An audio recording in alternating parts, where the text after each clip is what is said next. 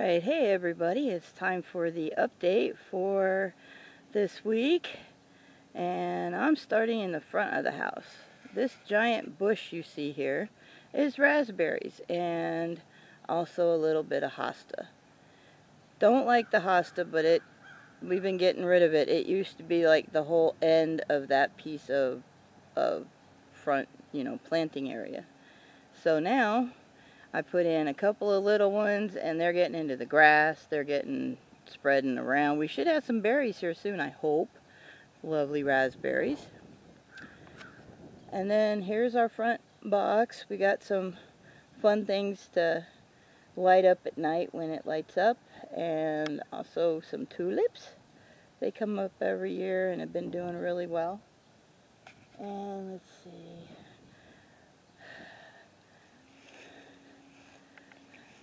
I said, those are nice. And we've got another little little guy there that uh, flamingo that we got a few little while ago. Now making a mad dash over here.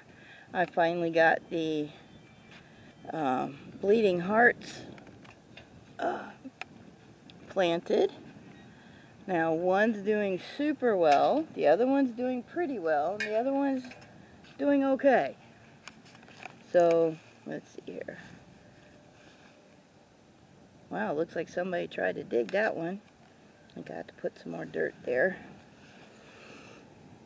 There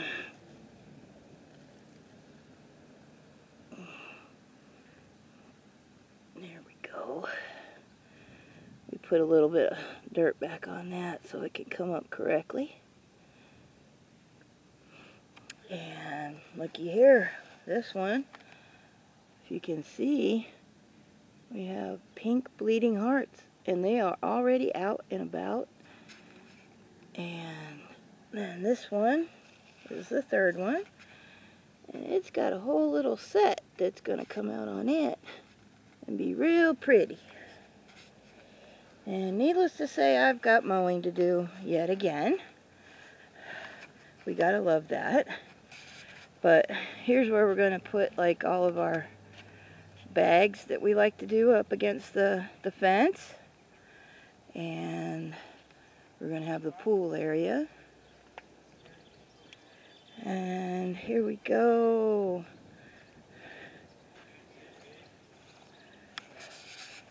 Looky what the peony is growing like crazy. Look how big it's getting. There we go. Nice peony. We've got, this is our big first cherry. Hopefully it will give us lots of lovely, lovely cherries this year. And here's our kohlrabi box. Let's see here. If we pull this off, you can see um, nice little green coming in. And let's see, we got green in a couple of those. We're to keep keep the little hoods on just to try to keep things from eating them. And we got some Brussels sprouts. Let's see, we got this one here. That's going to be our Brussels sprouts. Got a couple others, about three others. Um, looks like here's another one. See, nice green little head there. Alright, and looks like our, let's see, our cabbage may not have come up. It looks like it's pretty well done. But it's got lots of weeds in there, so we'll plant the next thing.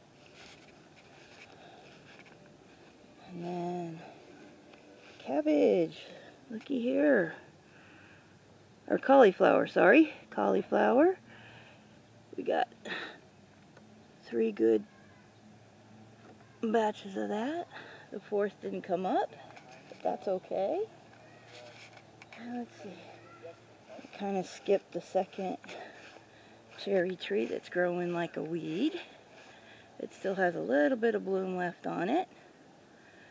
There we go. And look who is doing really well. Stick.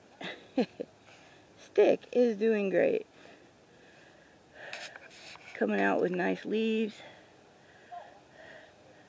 Nice and tall. Yeah, gotta love Stick. and then, surprise of surprises, one of our little persimmons decided to really grow. My goodness, he's got all, she has got all kinds of leaves on it.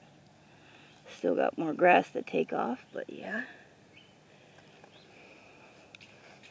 And Mr. Pear Tree, the big one, is growing real big, as you can tell, way up in the sky. And we had lots of blooms on it this year, so hopefully we'll get quite a few pears. And, um, yeah, I don't think we're getting any asparagus this year. Hate to say that, but looks kind of like that's going to be the case. And then our another little persimmon tree that we tried really hard. But I am not giving up. You never know when, as I like to affectionately call it, stick two might come back and join us.